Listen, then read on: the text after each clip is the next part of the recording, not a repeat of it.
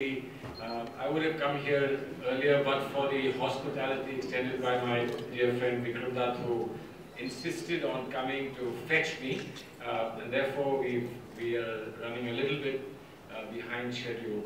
Um, I, I, hope that you you will forgive me.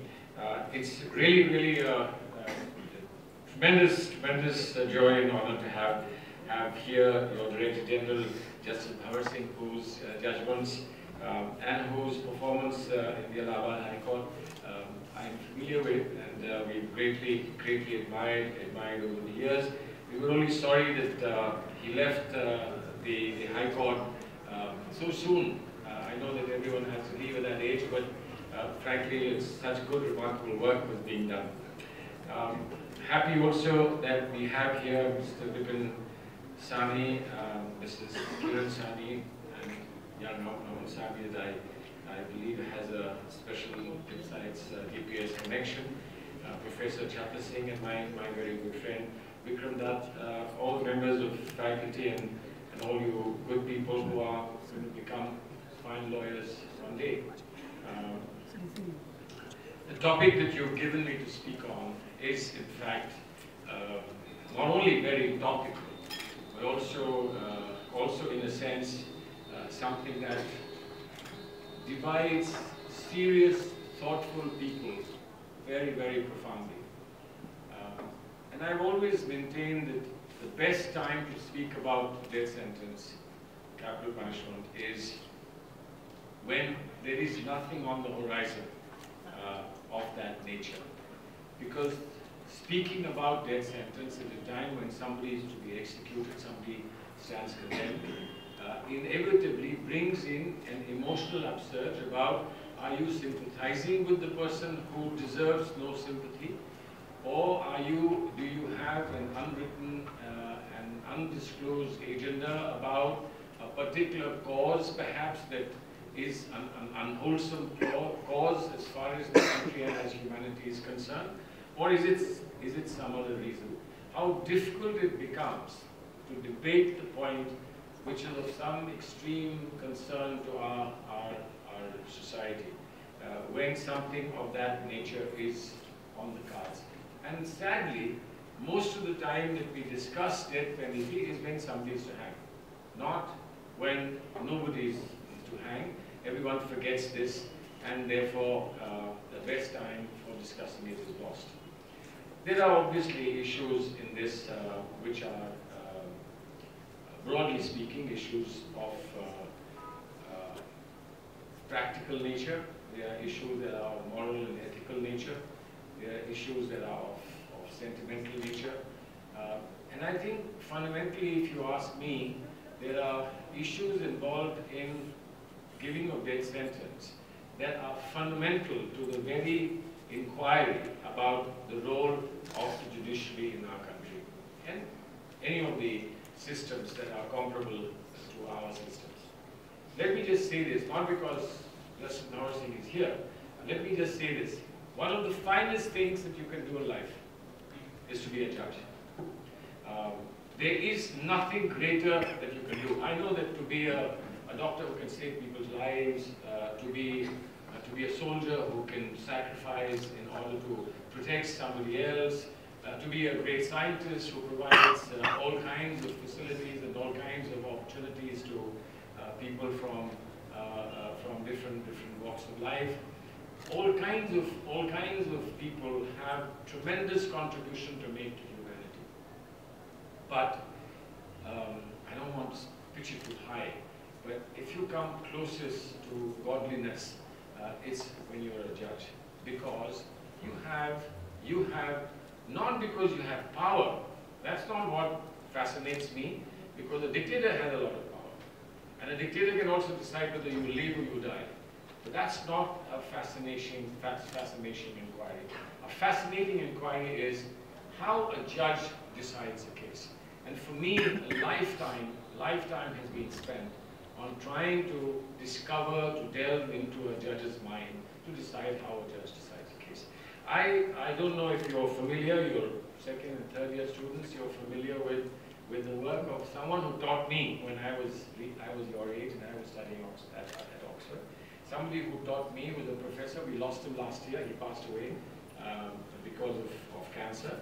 So, a finest uh, mind and the finest professor that we have seen in recent recent decades.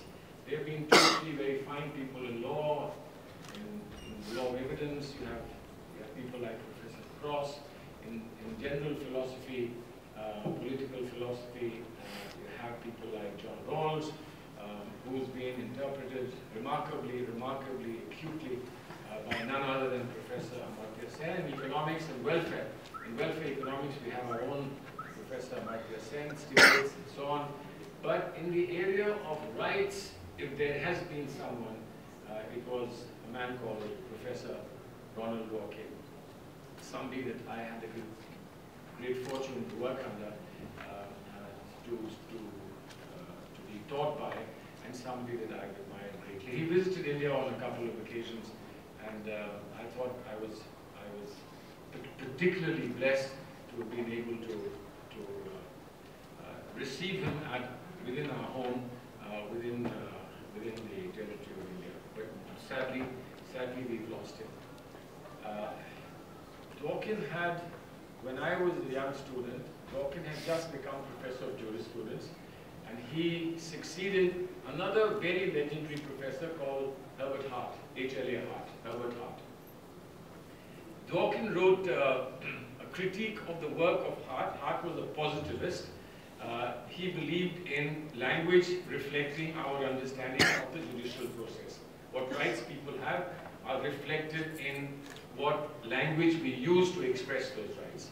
It was a, what was called the positivist school. Dworkin was different. He wasn't from the natural school, but he was, as he liked to describe himself, the liberal school of thought, uh, the right school of thought. The book that he published was called Taking Rights Seriously. And in Taking Rights Seriously was a very important, very important lecture, which was his inaugural lecture at Oxford University, and it's a lecture called Hard Cases. You know from law, we all, we all know um, the, uh, uh, the, the common saying that hard cases make bad law, because hard cases are what inflict enormous pressure on a judge to be able to decide what am I supposed to do, what is right and what is wrong.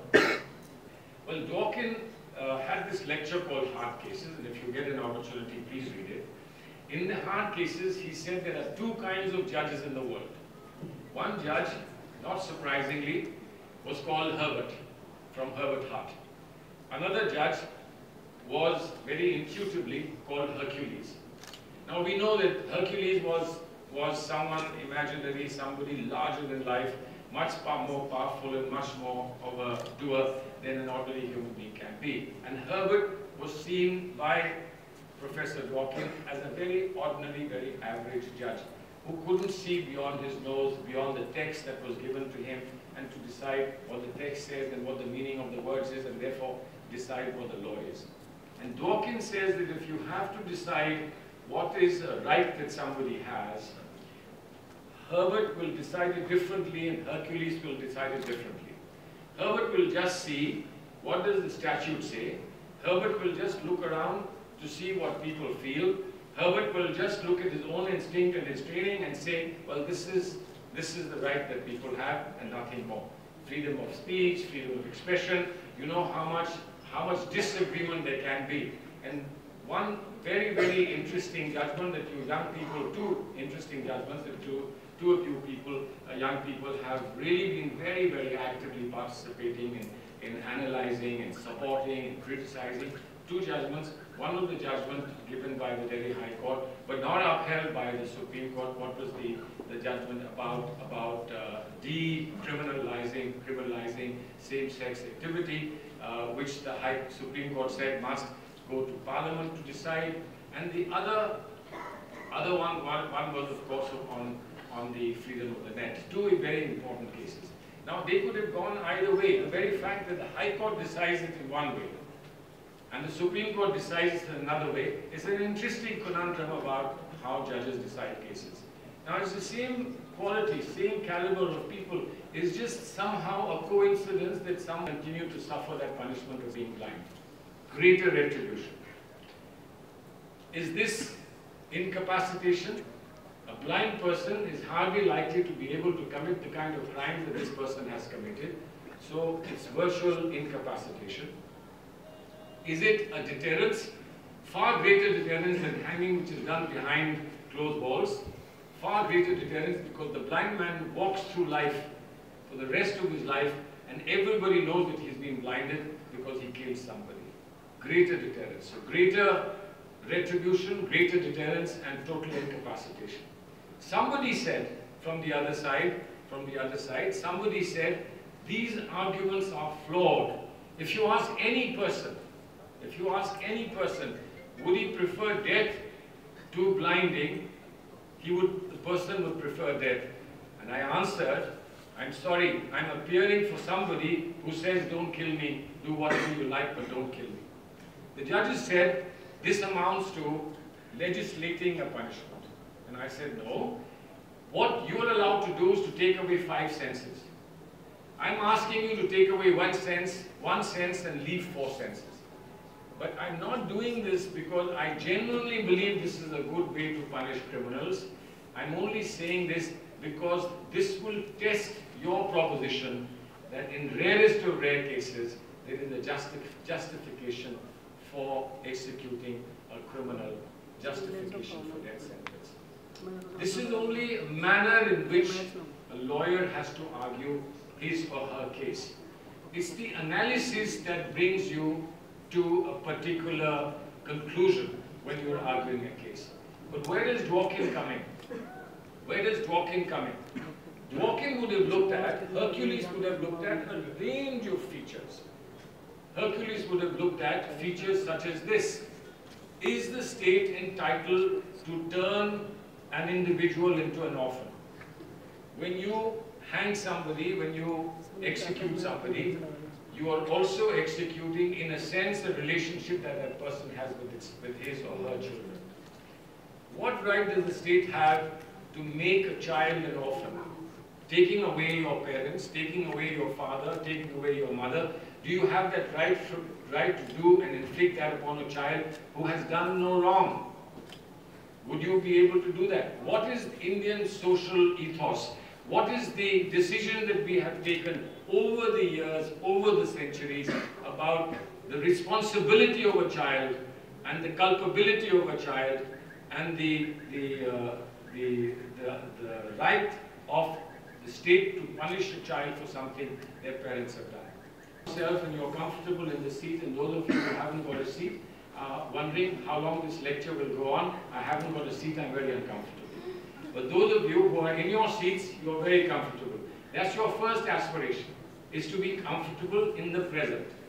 To be comfortable in a seat, to be hearing something that is not boring, to learn something and take something away from this lecture. But you also have an aspiration which is for the future. Your aspiration is to become good lawyers, your aspiration is to become teachers, your aspiration is to become uh, become administrators, your aspiration is to look after your family, your aspiration is to be to make your parents proud, your aspiration is to have a home of your own, your aspiration is to go in the rest of the world and conquer the world as an outstanding young person coming from India. That's another aspiration. Now if I wanted in a utilitarian mix to replace all of you sitting in this hall with another number of similar people sitting in the hall equally as happy to be listening to my lecture as you are, I can do that replacement without any problem. Equal happiness replaced by, by somebody else. No problem. But if I bring in another, your number of people here and ask them to replace your future aspirations, I wouldn't be able to do it because their aspirations may be different. They may want to do something quite different from what you want to do. I can't replace the two. Now in an animal, normally the present happiness aspiration is there, but the future aspiration happiness is not there. An animal doesn't plan for the future. There is a little bit of instinctive, instinctive work. A bird, when it wants to lay an egg, goes and picks up sticks and makes a nest. But that's not like human beings make a house or get married or raise a family. The bird does it by instinct. Human beings do it partly by instinct, partly by thinking, partly, partly by thought process and partly by planning. Bird doesn't plan, bird just, just does it. So you're different from a bird. you have a future aspiration. A bird doesn't have a future aspiration. So one presently happy bird can be replaced by another presently happy bird. But one presently happy human being cannot be replaced by another presently happy, happy human being because the human being that's happy for today also has an aspiration for tomorrow, which aspiration will inevitably be different from another human being's aspiration. Therefore, you can't replace one human being with another. These are the ways in which you have to think of what you take away when you take away a human life. What you take away for the child, the family, for society. What is it that society demands and needs? Retribution, incapacitation, and of course, uh, and, and, and, and of course deterrence. But if that is available in some other form, would it then be justified in saying the death penalty is wrong? And if you believe that taking life is wrong, then how would you support a state taking life away? Fundamental, fundamental question. The only reason why further attacks where people would be taken hostage in order to get the release of the criminal. This is the major problem. But as I said, if you believe in rights, you can't simply negate rights because it's become difficult to support rights. Rights must be supported no matter what. And if you believe in a theory of rights, then you must believe that those theory of rights must survive even if it becomes very difficult to do what it takes to respect theory of rights.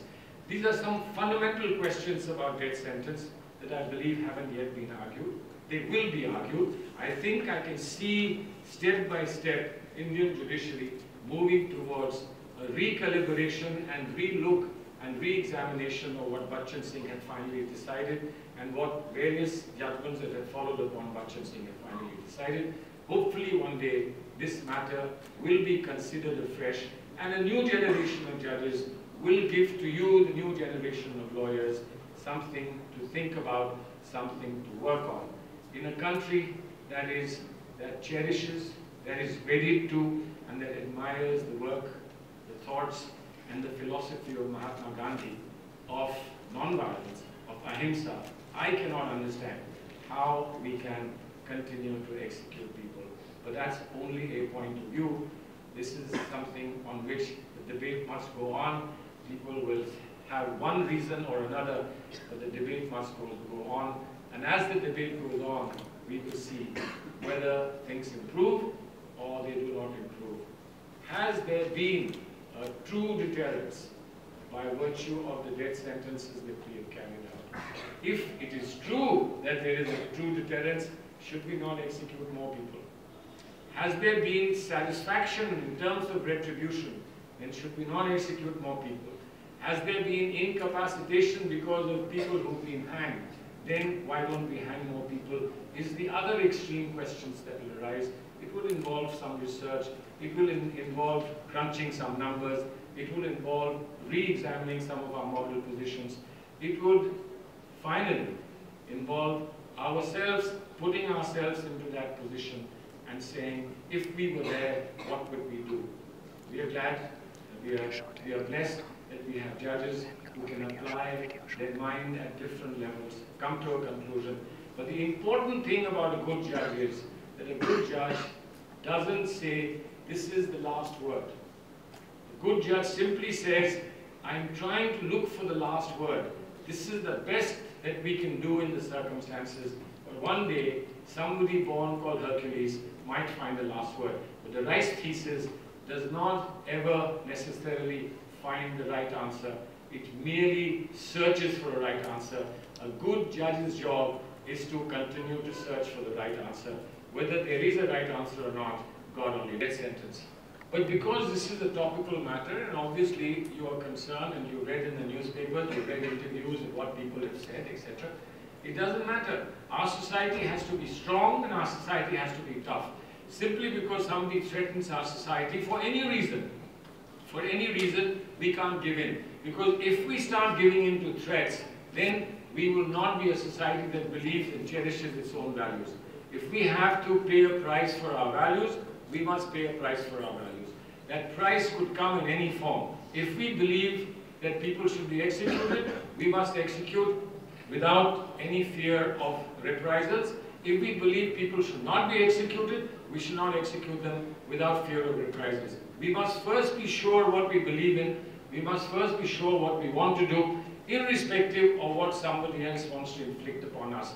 After all, as a nation, we have sacrificed before. We should continue and be ready to sacrifice again. One of us will fall, one of us will stumble, one of us will get hit and be hurt, but we will be able to save the whole society. I think that we should have confidence in ourselves rather than worry about little, little people who are threatening us from somewhere. The thesis of the Supreme Court that death sentence is necessary because of retribution, blah, blah, blah. Uh, it's tested on my saying that if you take one sentence and leave four sentences, uh, how does it how does it work out? Of course, all all penology, um, all theories of sentencing, uh, particularly more so in recent times, are now looking at reformative and both reformative and compensatory compensatory character of punishment rather than just simple incarceration and punishment. It's, hap it's happened last week. In the Ansal's case, for instance, some people consider that, consider that to be, again, an unsatisfactory solution. They say, are we becoming like the Arab world? Are we now agreeing to blood money? Somebody kills, but is, is willing and ready to pay money for, for that, uh, for the killing, and therefore they are forgiven. That was not the case.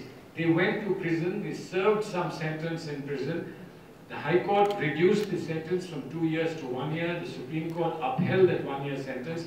The question only was, should it, before the three judges, whether it should be enhanced to two years or left at one year.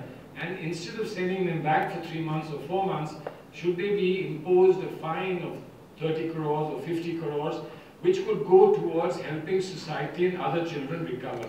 Now, finally, the three eminent judges said that it is best if this goes into a trauma center and somebody else, at least in society, will benefit from this. The other thing would have been to just send them back to prison for three months, four months. The time would have passed and nobody would have got a trauma center. Now there are two different ways of looking at it and no way is perfect. Frankly, no way is perfect. We all experience will teach us what to do. Now as far as as, as far as uh, reformative processes are concerned, everybody, everybody, I think, across the board agrees in the judiciary that re reformation is very important. You can do public service, you can spend some money for a school, for a college, for something good, something noble. Some, but the point is that spending money is not enough unless you really feel a sense of remorse and you really feel that something wrong has happened and that you would want to do something to compensate for the wrong that you have done and therefore earn, truly earn the, uh, the support of society in thinking, well, here is man who's converted himself from good to bad, from, from bad to good. Uh, same thing can happen, but there are certain cases, I guess, and this is where the Supreme Court judgment applies, that it's not easy to turn a terrorist and reform a terrorist, right? It's not easy. So uh, you try talking to a terrorist, he shoots you in the head. So that's not a good way of having a conversation, particularly for you. Uh, it may be fine for him, but for you it's a very bad way of having a conversation. So there are problems. Um, these are these are all uh, somewhat idealistic uh, views. Uh, we hope that these approaches succeed and they work. But uh, some of the actual facts, facts if you hear uh, and you recite what has happened in terrible, terrible crimes that have happened in our country, it's very difficult to say don't punish them. What I'm saying is that our training tells us there must be something still left in them that we can squeeze out and see if we can convert them. And it becomes very difficult for a blind person. I'm not against supporting blindness, but I'm just saying, for argument's sake, it's very difficult for a blind person not to concentrate on reform. A person who has eyes can remain mischievous because eyes are the worst thing that human beings have when they want to be mischievous. But uh, but uh, if you don't have eyes, then you have to concentrate on whatever is put in front of you. Thank you judiciary that can't give judgments uh, quickly, and the judgments then on appeal, and then beyond that into the second appeal to the highest court, etc., takes time. Uh, Justice uh, uh, Singh will tell you uh, there are 160 uh, 60 judges who are to be appointed to the Allahabad High Court. You have 70 now. Uh, there are 70 and falling by the day because new judges are not being appointed. That matter is pending in the Supreme Court. So there are only 70 judges operating to do the work of 160, which 10 years ago was decided need, were needed. 160 judges were needed, only 70 are, are doing that work. Now obviously 70 are doing that work, if they did only death sentences and did nothing else, then what would happen to all the other cases? Death sentences are carried out quickly. Uh, the judgments at least come as fast as fast as possible. Sometimes they are even heard day, day to day and so on.